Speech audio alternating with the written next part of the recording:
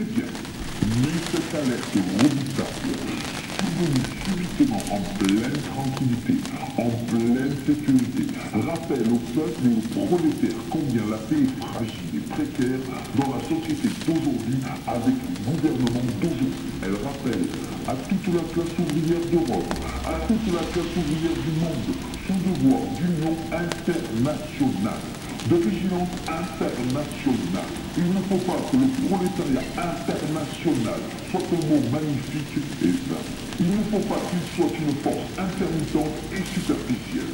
La concurrence économique de peuple à peuple et d'individu à individu, l'appétit du gain, le besoin d'ouvrir à tout prix, même à coups de canon, des débouchés nouveaux pour dégager la production capitaliste, encombrée et comme étouffée sous son propre désordre. Tout cela entretient l'humanité d'aujourd'hui à l'état de guerre permanente et latente. Et comme étouffée sous son propre désordre.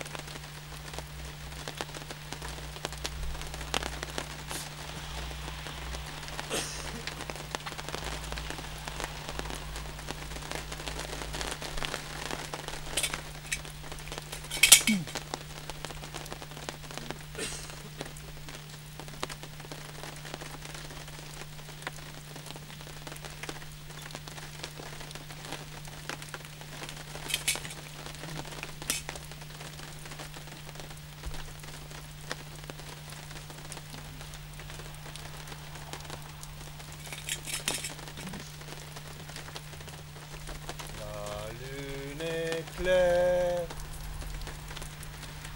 la ville. J'ai rendez-vous avec celle que j'adore. Mais la Légion s'en va. Oui, s'en va. Paro, barou, barou. Janine, je reviendrai sans aucun doute.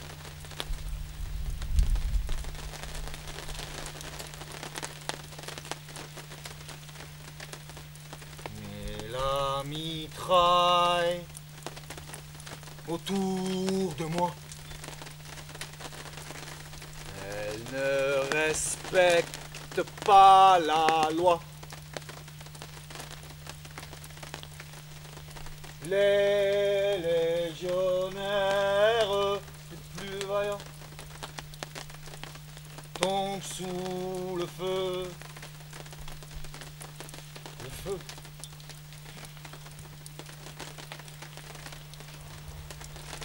Mais ton amour Janie m'a protégé.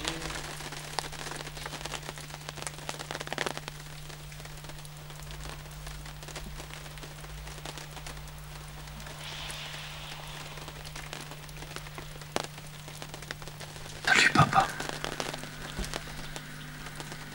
C'est Léon. Peut-être tu te souviens. Peut-être pas. C'est vrai que je n'étais pas. On est vendredi. Je voulais t'amener des fleurs, mais le fleuriste est fermé le vendredi. Alors je t'ai amené du vin. J'en ai bu une bouteille en chemin. J'ai un cadeau pour toi. Un discours de Jaurès. J'avais l'embarras du choix. Alors j'ai choisi celui de 1905. Ton préféré, je crois. Celui de Berlin. Celui qu'il n'a pas pu donner.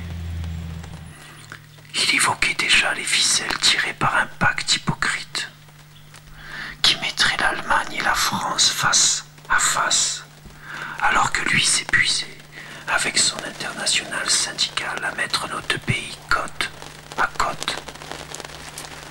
Chaque fois que je l'entends ce discours, cela me rappelle la première fois où tu m'as pris le bras, Jean, pour m'emmener au syndicat. C'était un soir après la mine. On se connaissait, Jean. Mais c'est là qu'on s'est vraiment parlé, que j'avais remarqué que très peu de gens, en fait, t'appelaient Jean. Papa. Les gens t'appelaient papa. Ils t'appelaient t'étais un des seuls gens qui comprenaient ce que Jaurès écrivait dans les journaux. Aussi j'ai adhéré au syndicat. Tu te souviens? J'allais aux réunions de plus en plus souvent. Et je n'avais qu'à te regarder, Jean. Je souriais quand tu souriais. Je protestais quand tu protestais. Il y a tellement de monde dans ces réunions que Jean ne voit même pas que je lève le bras. Et il me met toujours des coups de coude au même endroit. Jusqu'au jour où c'était la grève qui demandait nos bras. Moi, j'aimais pas faire la grève. Mais un bon coup de coude de Jean au même endroit. Et alors, j'ai levé le bras. Faut expliquer quelque chose. Une mine au début, ça rapporte de l'argent illico dans les poches du proprio.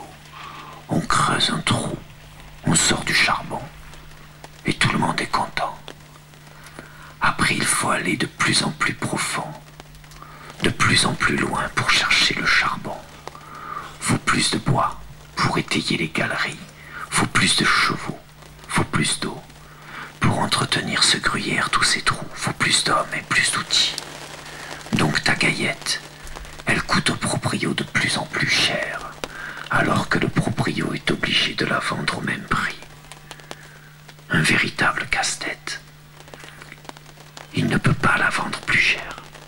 C'est à ce moment-là que l'ouvrier coûte trop cher au patron. Et alors il fait quoi, le patron?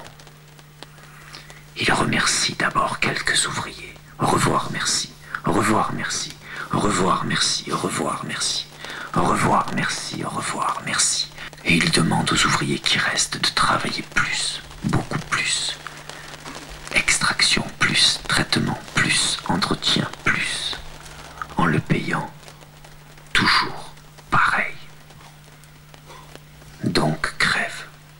Parce que le proprio, pour envoyer les ouvriers mineurs grévistes au fond du trou, c'est les gendarmes qu'il préviendrait.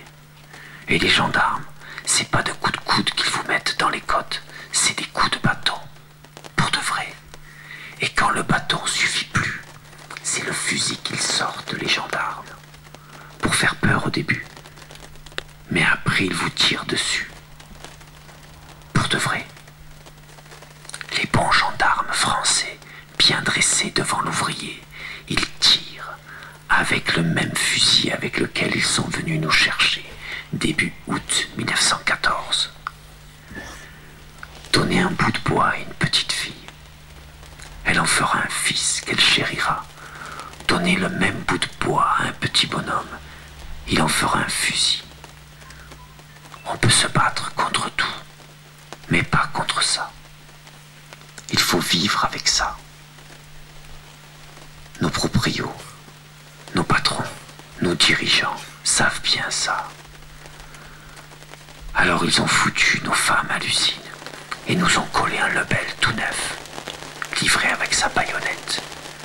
Ils se foutaient bien de la paix, nos proprios. Ils se foutaient bien de la victoire, nos patrons. C'est du sang qu'ils voulaient. Du sang d'ouvriers. Ils savaient bien qu'il n'y en aurait pas assez. Alors les vampires sont allés jusqu'au fin fond de leur royaume, jusque dans les entrailles de leurs empires, chercher du sang frais, de gré ou de force. C'était soit avancer et mourir dans la boue en héros, soit reculer et mourir d'un tir ami mal ajusté. Jaurès mort assassiné. On a juste eu le temps de pleurer l'union sacrée. Alors Jean disait que le premier homme mort pour la paix, c'était Jaurès. Celui qu'on appelait papa disait que si le sacrifice d'un tel homme, du seul vrai soldat de la paix, n'a rien pu empêcher, qu'en deux jours on puisse enterrer un demi-siècle de paix, un demi-siècle de progrès, alors il n'y a plus rien qui vaille. De plus, disait Jaurès en 1911, les instruments de destruction sont si puissants aujourd'hui que les armées seront contraintes de s'enterrer, de creuser des tranchées pour se mettre à l'abri. Une interminable nuit de sang.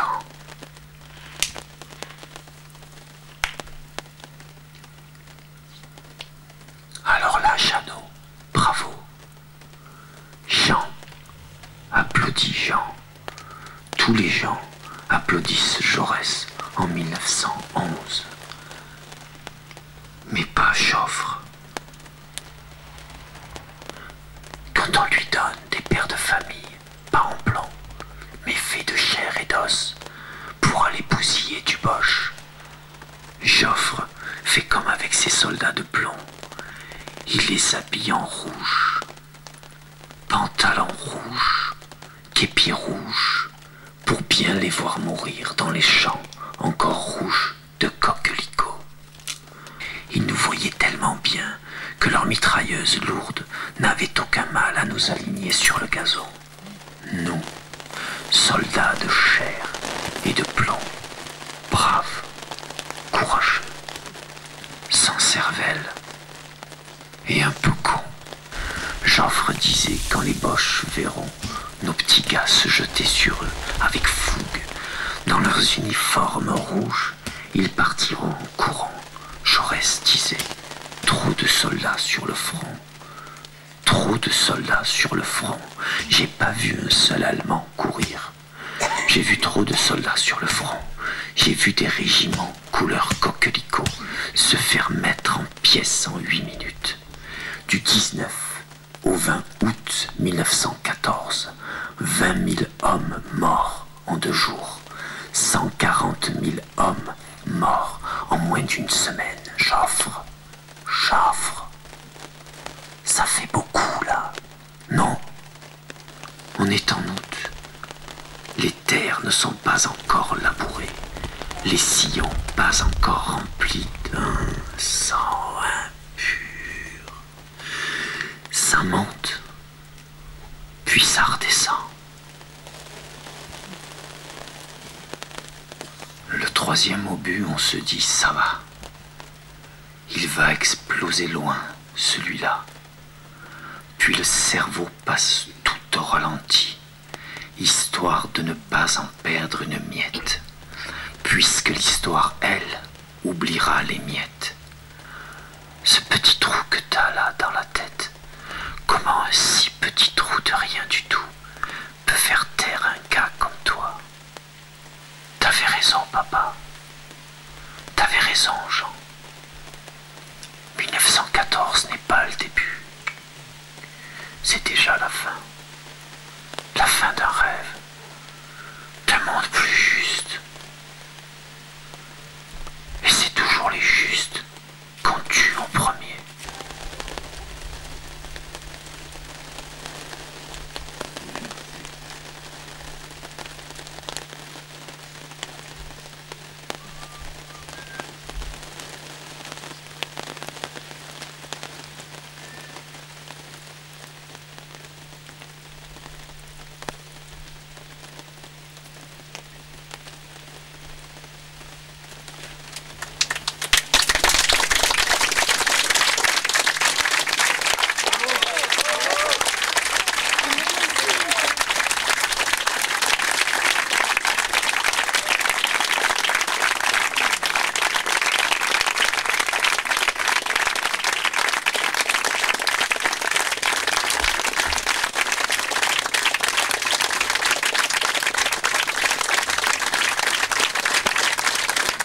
Alors j'ai demandé conseil. Il m'a dit mon fils, s'il y a un seul endroit où il faut s'engager, c'est dans la CGT.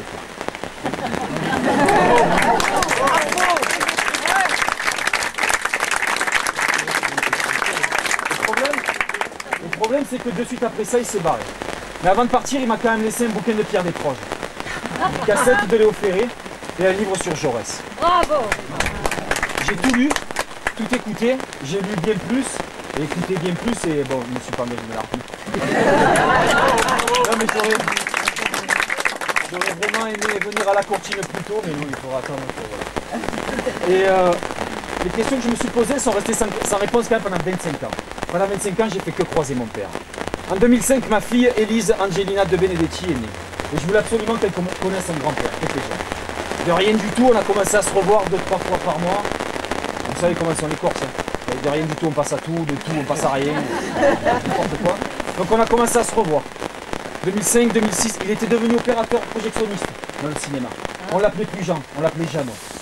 Moi j'étais devenu danseur. On refaisait le monde, on rattrapait le temps perdu, 25 ans, c'est pas rien.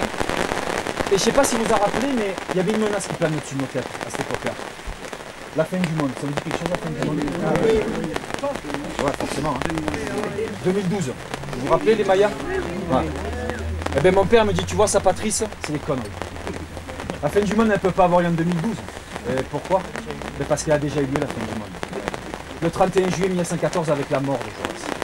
Et là j'ai pris 25 ans dans la gueule. Il me dit, tu te rends compte là, dans quelques années, 2014, ça fera 100 ans que Jaurès est mort. 100 ans. On va poser des fleurs sur sa tombe, mais trois mois après, tu verras qu'il retournera dans les trois lignes qui lui sont dédiées dans les livres d'histoire. Dans les six lignes dédiées à la Troisième République. Pourtant, mon père disait que si on voulait bien comprendre l'impact de la mort de Jaurès, l'impact de la guerre de 14-18 sur le siècle, qu'on continue de payer encore aujourd'hui, hein, c'est pas fini cette histoire. Hein. Fallait pas s'arrêter à attaque de Sarajevo, hein, non, fallait remonter avant. 1870, plébiscite de Napoléon III. Peuple français, es-tu content de ma politique? Eh ben oui, c'est un oui qui sort des urnes.